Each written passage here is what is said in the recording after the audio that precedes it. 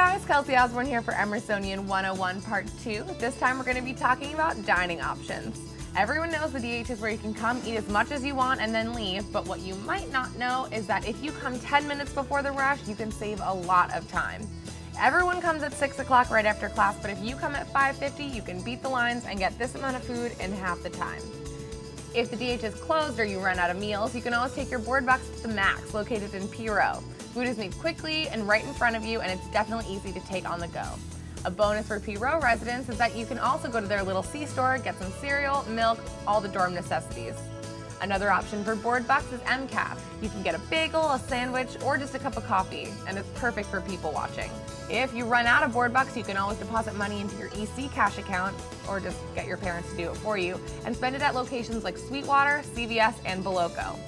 That's all I've got for today, but check in tomorrow for advice on survival tips at Emerson.